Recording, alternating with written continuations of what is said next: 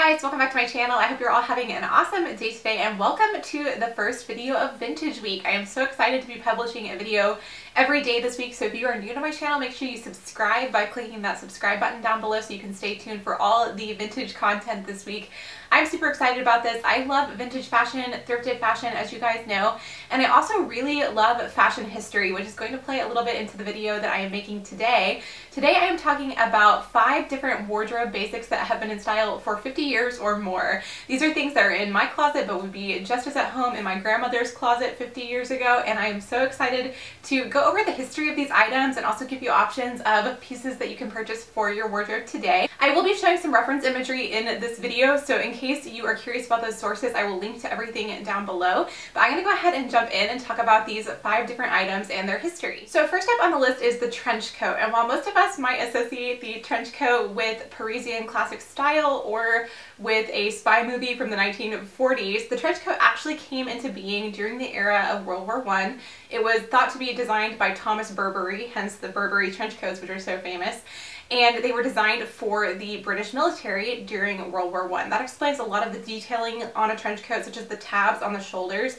These details were created to be able to clip different equipment to and things like that, so it was a very utilitarian type of garment. And trench coats remained primarily menswear for quite a while, but they really came into fashion for women during the 1960s. And when I think of a trench coat and a classic way to style it, I often think of the way Audrey Hepburn wore them in movies like Charade and Breakfast at Tiffany's. Those are iconic looks featuring trench coats to me. The style of trench coats evolved a bit over the decades. In the 1970s, they tended to be more long line and often were made with materials like leather and suede for a bit more of a bohemian type of look. And then in the 1980s, like many things in fashion. The trench coat got a bit oversized with shoulder pads and bigger collars and it was also a longer line. And then in the 90s it got a little bit more tailored but still a bit more oversized than what we see today. Today what we see for trench coats is most reminiscent of the styles of the 1960s, slightly shorter, a bit more fitted, that very classic trench coat style. You guys have heard me talk about my trench coat quite often if you follow my channel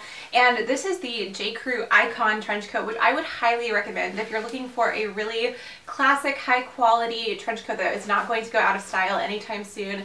This is an absolutely beautiful piece. I ended up getting mine secondhand to save a little bit of money on it. It's not super expensive, but for me, it was out of my budget, so it's something that I got secondhand. But I think it's definitely worth the investment if you're looking for a really high quality trench coat. The material is beautiful. It has all of those classic trench coat detailings, a beautiful silky lining, and it's just a great wardrobe staple to have. Up next is the shirt dress, also sometimes called a shirtwaist dress in history. These are dresses that feature a shirt style bodice, so they will have collars and buttons and different details from a traditional button front shirt. These came into popularity originally in the 1940s and continued to grow in popularity, particularly during the era of the new look started by Christian Dior. Now the bodice of a shirt dress has stayed practically the same since they were first introduced in the 1940s, but the skirt varied throughout the decades based on the styles of the times. So in the 1950s, a shirt dress would have a fitted shirt style bodice and then a very voluminous skirt usually. Sometimes it would be worn with a petticoat and sometimes not so much of a petticoat so that it had a little bit less of a big poofy skirt. The skirt hem usually fell below the knee during this era. And then moving on to the 1960s, these skirts got a little bit shorter but the overall silhouette was pretty much the same. Moving into the 70s, whenever I think of a 70s shirt dress, I think of either Carol Brady or I think of Kitty from that 70s show. The, during this era, they had slightly more slim fitting skirts and then a lot of times they had long sleeves as well. In the 1980s and 90s, they went a lot more oversized, longer skirts and poofier sleeves and just less fitted bodices. And then today I would say that our shirt dresses tend to harken back to the 1950s, but a little bit more comfortably. They have fitted bodices and then usually a gathered skirt that is around knee length, kind of a mid-length type of style, sometimes shorter, sometimes longer, but they tend to take inspiration from the 1950s. A shirt style dress in my closet is this little white dress that I got from thredUP. It is slightly more trend-led because it doesn't have a traditional shirt collar. It has this bit of a V style neck here and then it has tortoiseshell buttons up the front and slightly more fun sleeves with these poopy sleeves but the overall style is the same, a shirt style dress with button front detailing and I absolutely love this one.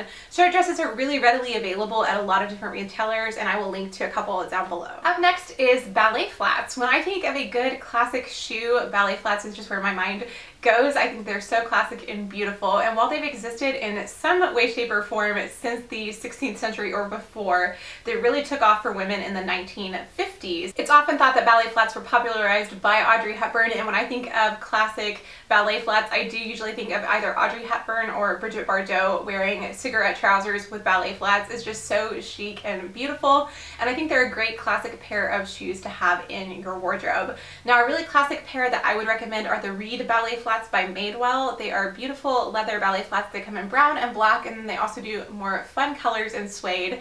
And I would like to add a lot of different colors to my wardrobe over time, but for now I just have these brown ones and I'm happy with that.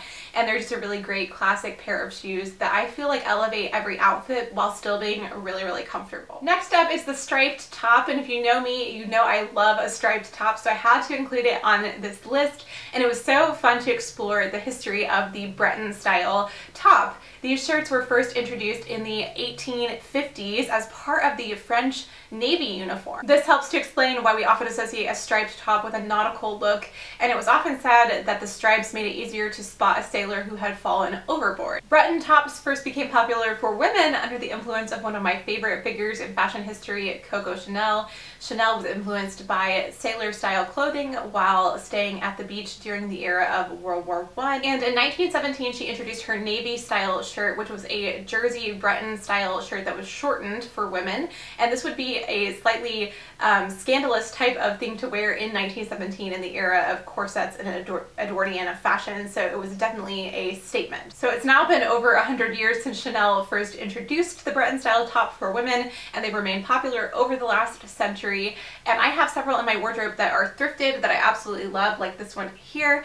But if you're looking for a really high quality one to invest in, I have my eye on a beautiful one from Amour Vert, which is on my list to be my kind of long-term investment style uh, Breton top. I think it's absolutely beautiful. So I have my eye on that one and I will link to it down below in case you guys would like to check it out as well. And then last but not least, I couldn't make this list and not talk about jeans because I can't imagine going through a week without wearing them.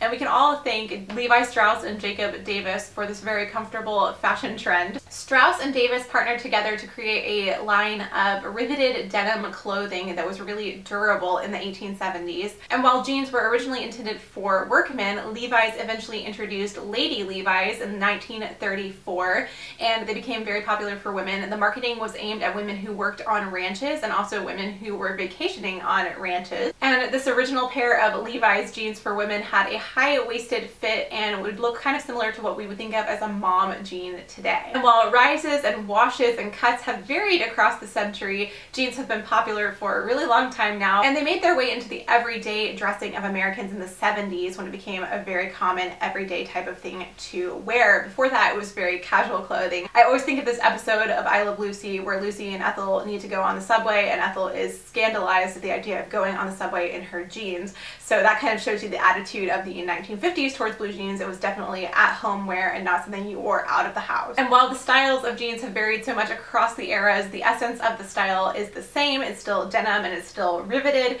and it's still really comfortable and practical. Now my personal favorite jeans come from Madewell. I love that they are really well made and that they have fair trade and organic options which is really important to me. So I really enjoy their jeans. My favorite cuts are high-waisted, 10-inch high-rise is my favorite and skinny fit. I think it has a little bit of the look of the cigarette pants of the 1950s and just makes me feel really classic and put together when I'm wearing those jeans. Alright guys, so that's going to be it for this video. I hope you enjoyed it and you learned a thing or two about fashion history through this. It was really fun for me to put together. I would love to hear any fun facts you know about these items down in the comments below and let me know how many of these you have in your wardrobe. It's so fun to me to look at things that have been in style for so long. So come back tomorrow for another video in Vintage Week. I'm really excited to be posting every day this week. I hope you guys look forward to it, but I'm going to leave it here for now. If you're not subscribed, click the subscribe button down below if you would like to and I really appreciate it.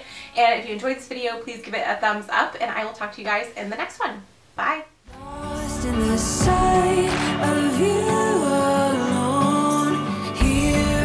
stay